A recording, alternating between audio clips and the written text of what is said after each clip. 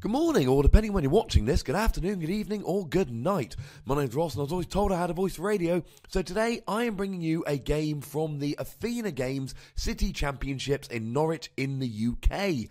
Now, this is happening in the standard format. So we are going from the X and Y set all the way through till breakthrough. Breakpoint is not legal yet, but you can rest assured that when it is, tournament games on this channel will be very, very quickly coming along. Don't you worry your pretty little heads about it. Now, we are in 15 minutes. We are in best of three, and I should say thank you very much to the lovely people at Athena Games in Norwich. Definitely one of my favourite places in the UK to play. So sit back, grab yourself a nice beverage, and enjoy this game from the Norwich City Championships. Best of three, 50 minutes, X and Y to breakthrough. All right, ladies and gentlemen. So this is the fifth, the final round in Swiss at least. We do have hopefully a top eight and a top four game to be bringing you lovely people. On the left, we have got Guy Beaver. He is going to be playing Manectric Bats. And on the right, we have got Tom Goodson. He is going to be playing Lucario Bats. And you'll notice that this is a matchup we saw previously in this um, particular series of videos here. And we discussed it then. So, as always, I recommend you go back, watch all the videos from Norwich City so that you can fully engage. What I don't want to do is be repeating stuff for people that have watched other videos. So, I will explain the matchup as we go along. But at least to start off with, I'm going to assume that you have some knowledge of the previous game. Now, Guy here has had a very good start. He has got three Zubats on the bench and he's got a Manectric in the active, which presumably he will be wanting to get out of the active. Um, so he's drawing through an awful lot of cards. He's doing all right. He's getting a level ball, which he went and got a Golbat straight away. Now he's going to need those bats. Like we saw in the previous game, he can't be trading Manectrics against Lucarios. It's not going to work. What he needs to do is really be bringing up those bats and using those bats to take down the Lucarios. Now you notice he got a jamming net in his discard. Um, it's a bit of a shame for him that Tom didn't start with an EX. Jamming net is the lesser played Team Flare tool which, if you attach it to one of your opponent's Pokemon EXs, it reduces damage done by 20 damage. I.e., Lucario's first attack would do a base of 10. Now, if Tom doesn't draw anything off of this Professor Birch, he's going to shuffle his hand in, flip a coin. If heads, he draws 7, tails, he draws 4. Oh, and this is not a great time to pull a tails. You can see there, Guy is getting pretty excited about this. Guy knows he's doing 40 damage with Manectric, which means next turn he needs an energy or a muscle band or a Golbat. And we know he's got a Golbat in his hand because he searched for it in order to get the win. Uh, and it doesn't look like Tom's got anything, so all Guy needs to do is drop that Golbat down Oh, and there's an energy as well. Just take the win. Don't don't keep going. That's just mean. Okay. Um. Oh, that's four energy out of five prizes at least. Just to be clear, ladies and gentlemen, as I have said on a number of occasions, if you've got a good deck, you should always have six good cards prized.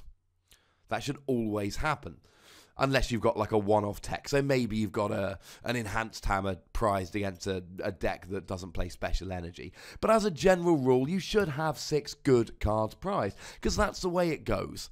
If you if you look at your prize after every game and go, oh, those six were prized, thank goodness, you've probably made a terrible deck. to be perfectly honest with you. Just as a side note there. I'm, I'm not, nothing against either player. That's not a judgment on either player. Just something I've, I've been pointing out recently that I like to point out on occasions. So, Guy's stolen a game here, and this is good for Guy. Now, when you've got Manectric bats against Lucario bats, Manectric is at a disadvantage. Manectric is weak to Lucario. Lucario will run through the Manectrics. And yes, the Manectric player can get their Crobats out and start attacking the Lucario with Crobats, but turn three at the absolute earliest, ladies and gentlemen, could that possibly happen? So you're really relying on the Manectric in the early game, and that's going to fall to the Lucario. What you need to do is steal one game and hope you get a draw, or steal a couple games out of three, which is difficult but doable. Manectric bats does not also lose Lucario bats.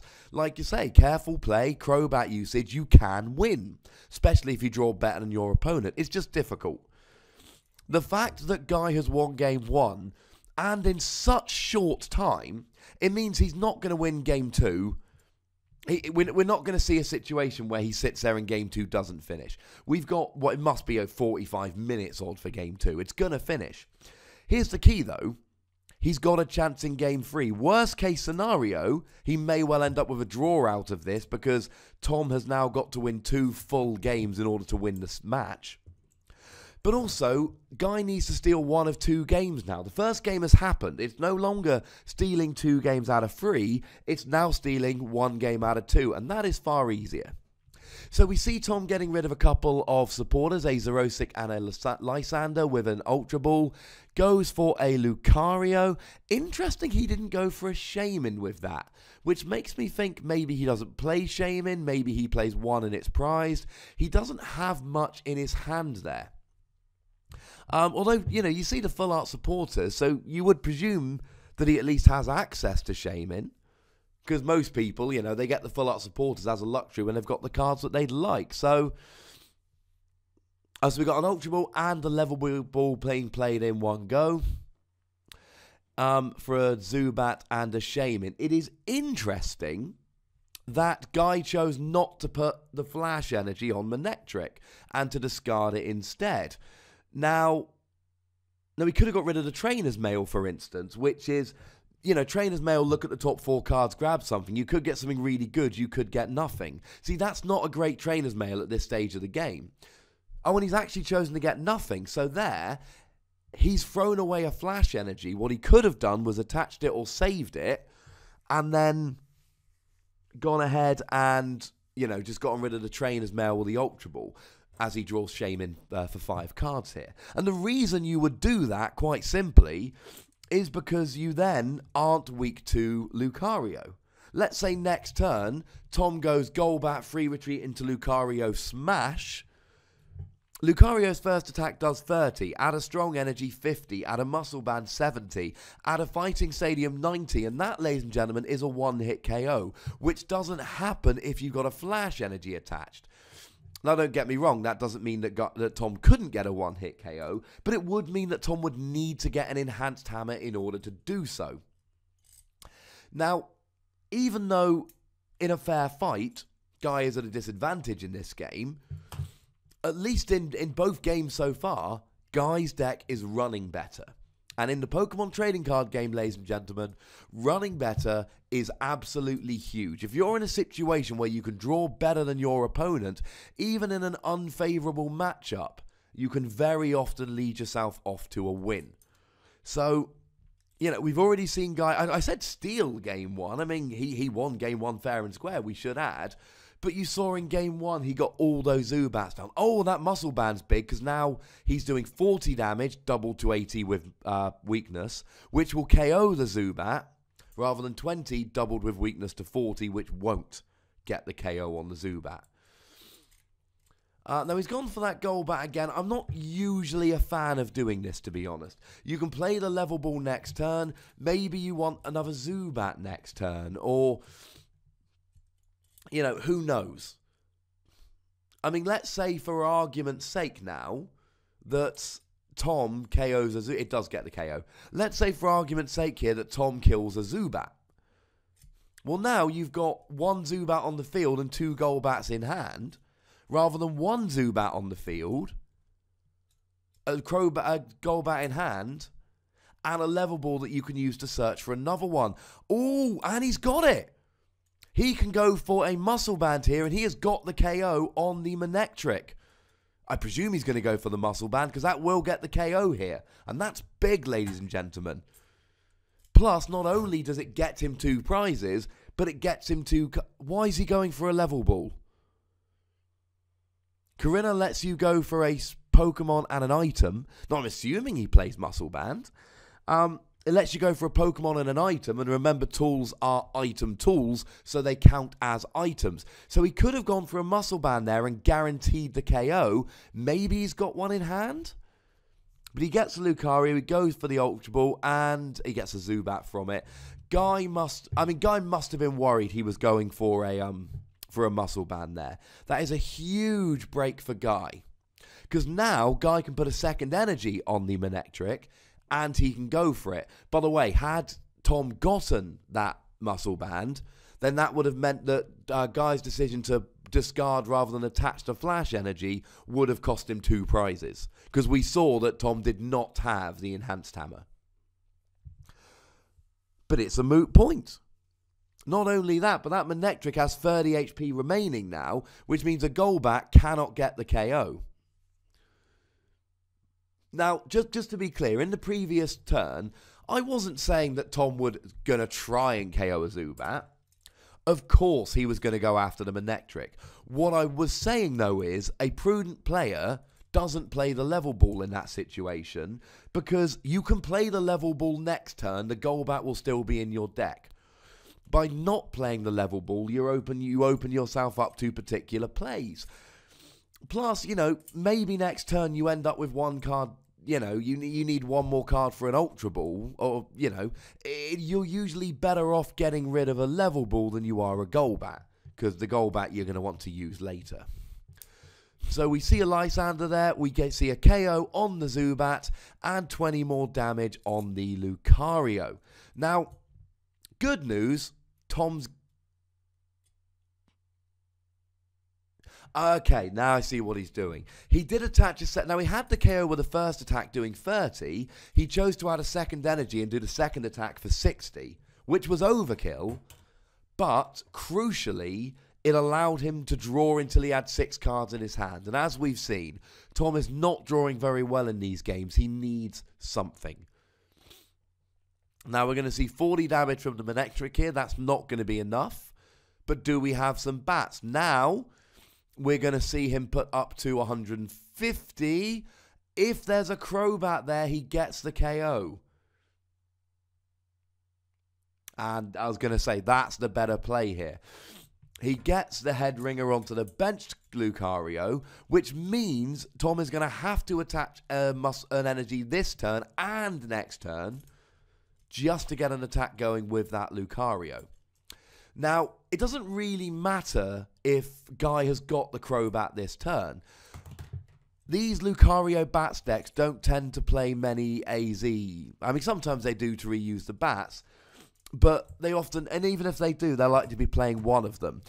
If Tom were to play an AZ, he would have to discard both of the energy on the Lucario in order to play it, and then he doesn't get an attack this turn. So the Lucario's sitting there with 20 HP remaining. 30 HP remaining, I should say. He's on 150, he's got 180. Which means as long as Tom can get, and you see he's got a VS Seeker, so he can play something like a Sycamore next turn. As long as he gets a Crobat next turn, he's going to be just fine and dandy. Now, here's an interesting play Baby Landorus. I say Baby Landorus, it's a common slang term for a non EX Landorus. And Baby Landorus does 20 damage and allows you to discard a basic fighting from your discard pile to one of your benched Pokemon. And of course, you then use Muscle Band and uh, Fighting Stadium to increase the damage that you're doing. It's not going to get the KO, but it's going to help.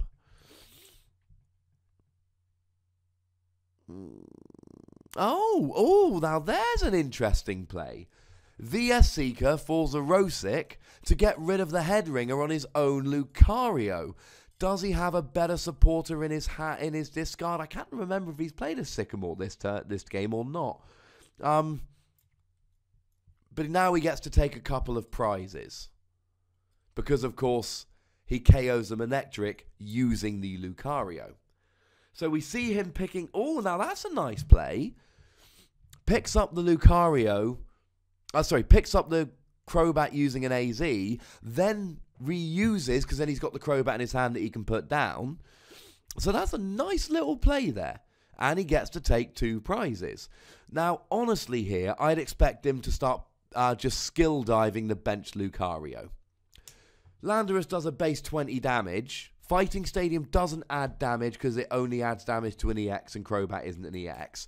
So you're doing base zero damage because of the resistance of Crobat. So you can sit there and start poking at the bench Lucario and then use that VS Seeker later on to pull up the Lucario and do the final 100 damage.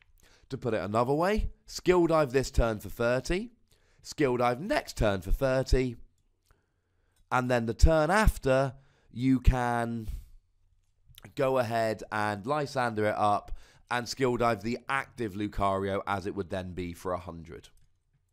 Um, unfortunately, next turn he'll be 10 short. He can drop a Golbat to do 20 damage, and we know he's got the Golbat in hand because he used an AZ. Um, but it's not, unfortunately, going to get the KO. Ooh.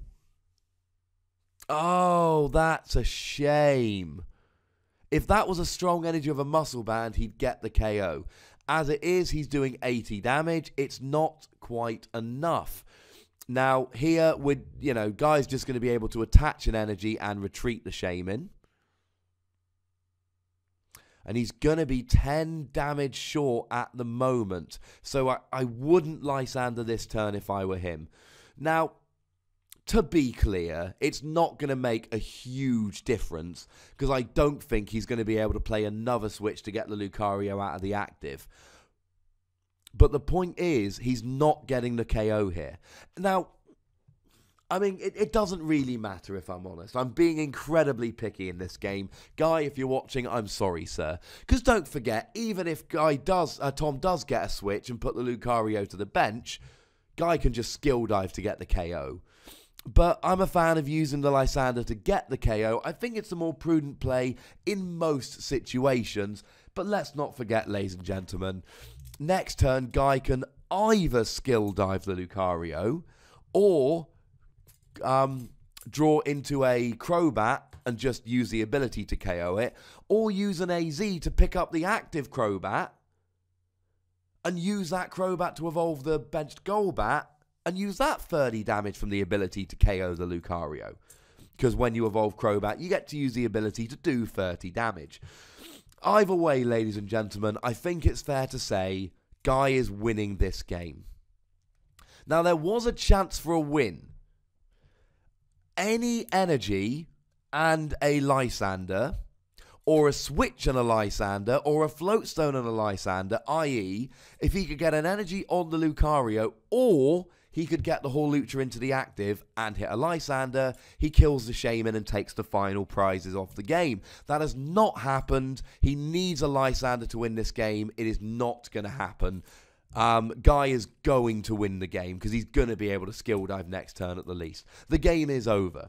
Now, I should say at this stage, thank you to uh, Guy and um, Tom for being on the stream, and thank you to all the lovely people at Athena Games in Norwich in the UK. As I've said on previous videos, not only did they allow me to record, but they set up in a separate room, gave us a table judge, and even turns the camera on and off in each round. Wonderful, wonderful people. Cannot recommend that place highly enough. Make sure, of course, that you comment on this video if you've got anything to say. Make sure you like the video, and of course, make sure you subscribe to my channel. One of the problems, and that was just my ending bit so we can end nice and quickly in a minute. One of the problems in this game is Tom hasn't got the Zubats out. Had Tom had a Crobat, as excuse me, had Tom had a Golbat on the bench this turn, he could drop a Crobat and win. Because he'd be able to KO the Shaymin. But he didn't.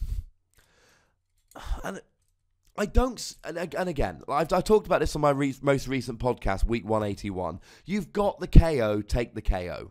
You're not playing the clock to try and get a draw because you need to play the clock. You have two prizes remaining. You are about to do 100 damage to an active Pokemon that has 30 HP remaining. You've got the win, sir. Take the win.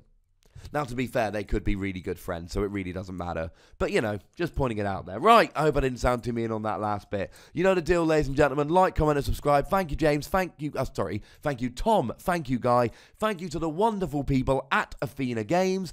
It was a pleasure to be there. I'll be back for regional shortly. You, ladies and gentlemen, you look after yourselves till next we meet. I'll be back with another video in a couple days' time. Look after yourselves until then. Thank you very much for watching. My name's Ross, and you've been watching PTCG Radio.